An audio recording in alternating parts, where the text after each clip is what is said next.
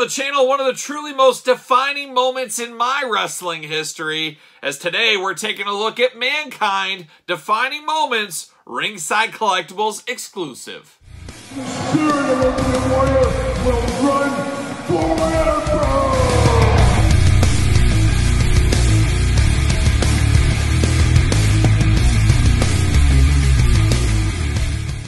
Welcome everyone, Kyle here, and welcome back to the channel for another WWE Mattel Elite Defining Moments Ringside Collectibles exclusive. And today, we've got Mankind. But for all your Ringside Collectible exclusives, make sure you hit up Ringside Collectibles. Use discount code Kyle. Save yourself 10%. Got to get a deal out there. And these defining moments are back with a vengeance in 2023 as we do have a nice four pack that comes in a four pack box here. But if you want to, you can go to Ringside and you can e order each figure by itself if that more suits you. You don't want them all or whatever. But like I said before, I love this box on this. You got to have the box. You got the four pictures right there looking good.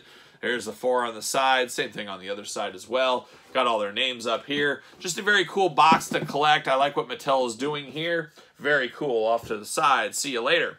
But then you do get the packaging here. And of course, we're going to do this review like we do all the reviews on the channel. We're going to take a look at the packaging. We're going to talk about it. We're going to unbox it. We're going to talk about it. We're going to see where it goes from there. But the first thing you notice when you get these out of that big shipper box is how thin and small the packaging is on these. I get it in this day and age, you know, they're trying to save packaging and all that, but got to compare it to the other defining moments here. Now, that's the Hulkster from the first series, or the second incarnation, I guess we'll call it, of defining moments, and Bret Hart from the first. So you can kind of see, uh, if you stair step it down, bam, like that. So the packaging gets smaller, smaller each time.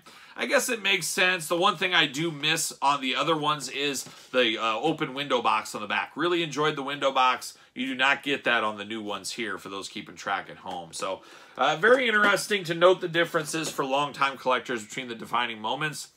And I'm very happy Defining Moments is back. I think it is a really cool thing. Uh, it's just one of the great early things that Mattel did, I would say, in the Elite line to really get their name out there and to get figures feeling extra special because defining moment is a special moment in time, be it wherever. And I talked about defining moments, and one of the defining moments of my life when I graduated college, I was so happy to be done with school. Man, oh man, that was a great day. I said, ah, no more school, only the working man for me going forward. And a lot of people say, oh, take don't take school for granted, you're to miss it. Nah, I never missed school. I didn't miss having to go to school, study and all this, and you had to pay for your education, and then on top of it, you didn't get paid back. It was like going to work and not getting paid is what it felt like to me.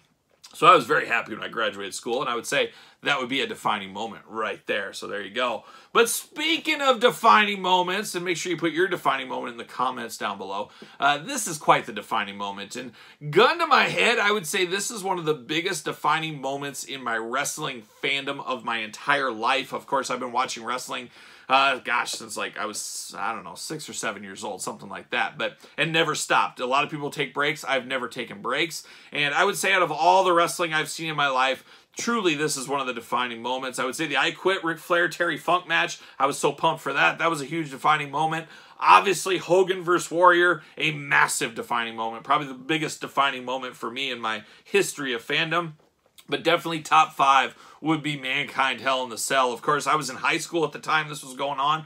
All my buddies would come over. We'd watch the pay-per-views at my house. And I remember all of us just jumping out of our uh, chairs, bed, wherever we were in my room. Just could not believe what we were seeing. It just didn't make sense at the time. And a lot of us are desensitized over the years to things like this. Heck, we've seen a lot of Hell in the Cell falls since then. But everybody remembers the first one. Everyone remembers Mankind getting after it in that Hell in the Cell. And we are dangerously close. We're just a couple of weeks away as of filming for this, this being the 25th anniversary of that. Can you believe it was 25 years ago?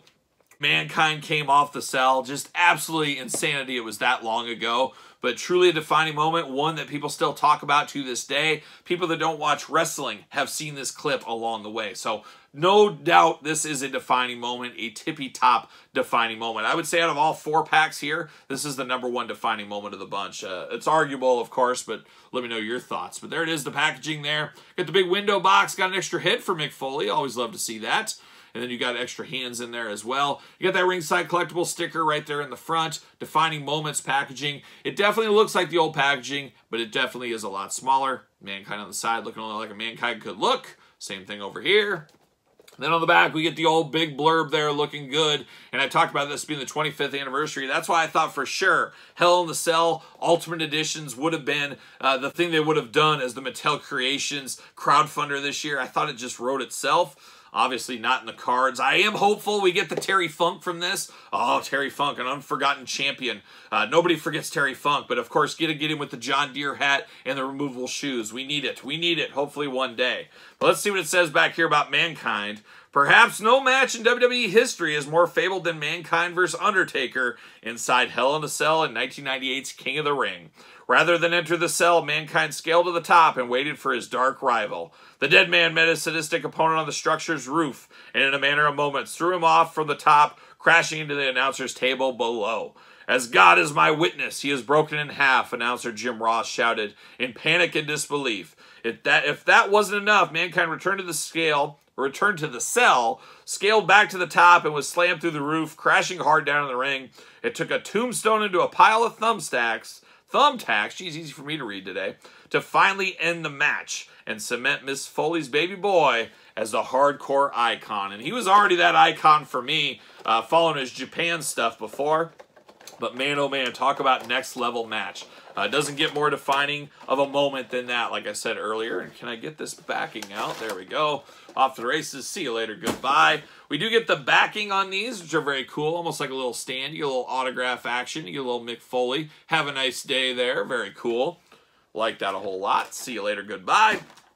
Now we're down to the old plastic prison. This feels like something we've had many times before, but feels different at the same time. Get the old scissors out. He is locked in. Now, we've had a lot of versions of Mankind in kind of his uh, worker shirt, I guess, work shirt, tie, things like that. We've had many over the years, and uh, this is another one here. We'll do some comparisons later on in this video to show just how many different ones we have of these. And uh, as we're filming this, I think the next uh, Showdown 2-pack is going to be a Rock Mankind 2-pack. See you later. Where Mankind is going to be in a similar outfit as this once again. But let's dive in here. We do got an open hand and a gripping hand here. No fists in this one. You need a fist in the cell. But we do got the same opposite hands here. So you can have two open jazz hands if you really wanted to, or you can have two gripping hands. Choose your own hand adventure, as we always do say here on the channel.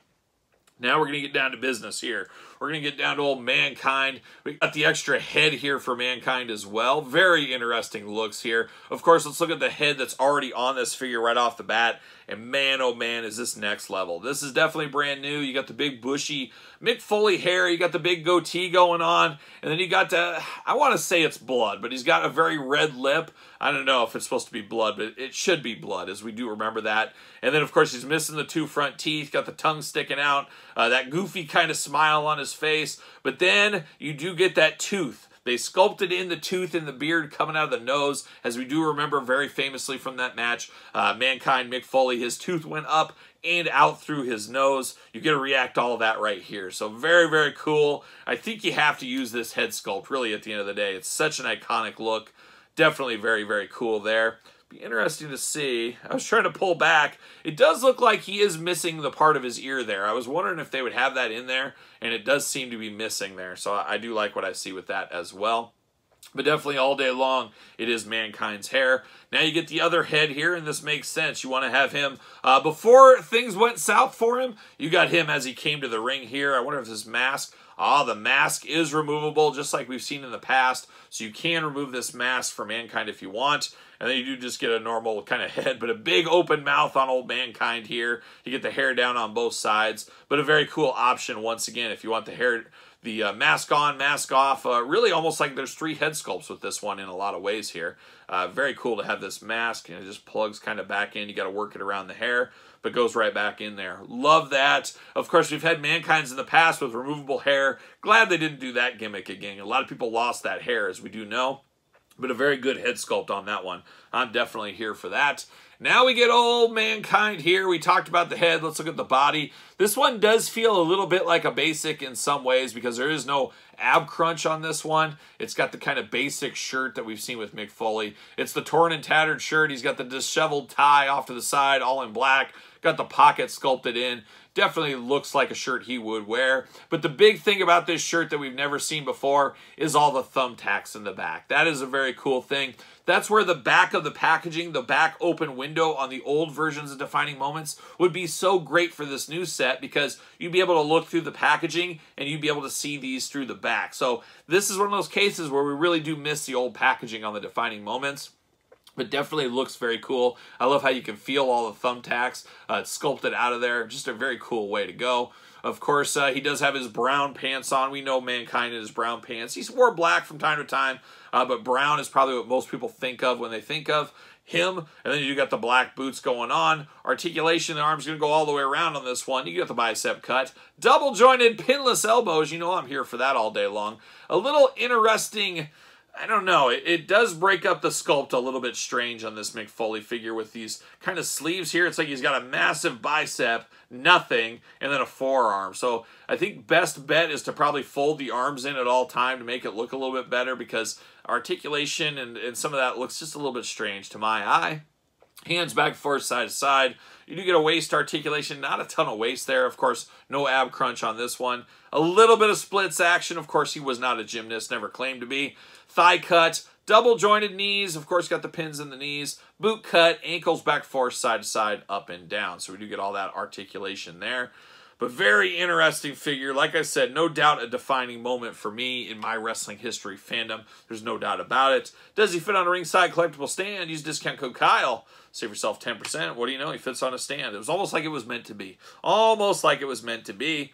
Looking good though. I'm here for this all day long. And I did say I'd bring out some other Mankind figures. So let's let's start it. I think some of these are basic. Some of these are regular. This looks to be this same head here. Similar but different is what we'll call this one here. We're getting the most out of your molds. That's the way they do it. But we do got a brown pant one here, a little basic action. And then we do get a lot of them in black pants, of course. We get this one here. We get the same one here again, but this one has a different tie, of course. And then you got another Mankind. Is this the same one, I think, as this one? Just different color tie, different color pants man, got to get the most out of those molds. That's what you got to do. So we got another very similar one. Oh my gosh, very tight knees on this one. We're to stand up straight here. Different shoes on him as well. So we got a little bit of different colors of the rainbow here. Looks like a group of guys that uh, were getting ready to go to work and just didn't really want to. Came off a bender or something. It's kind of how it looks here. But uh, definitely some cool Mankind figures throughout the years. We've had this look before, as you can see, but never with this cool new head, never with the thumbtacks in the back, uh, never with this articulation, I guess, either. So there is a lot of differences here. This head is a lot of reuse, but I like it. It's a good throw in with this one if you want Mankind in wrestling. Uh, gear, wrestling face, his wrestling face on, whatever you want to call it, before the tragedy, we'll call it. Uh, you can do that as well. So a very cool pack here, no doubt about it. One of my absolute favorites, and possibly my favorite of this four pack here. I'd have to sit and think about it a little bit, but truly a defining moment, truly a cool figure. Gotta have it in my collection probably yours too. But let me know your thoughts in the comments down below on this Mankind figure. Easy pickup, easy pass? Let me know your thoughts. And of course, is this truly a defining moment? Could anybody argue this wasn't a defining moment? It is so well remembered all these years later. Like I said, we're at the 25th anniversary. I don't think you can argue that it is a defining moment. But let me know your thoughts in the comments down below. Of course, you made it this far. Don't forget to like the video. Don't forget to subscribe to the channel. Turn on the old notification bell as we got videos every single day and then some. And even more content for you on the Patreon channel. Your best way to support this very YouTube channel. You can also support the channel over at ProWrestlingTees.com. Search Kyle Peterson. And don't forget social media. SirPaul64 on Twitter, Instagram, the underscore Kyle underscore Peterson. So for Mankind and defining moments everywhere, I am Kyle. See you guys all real soon.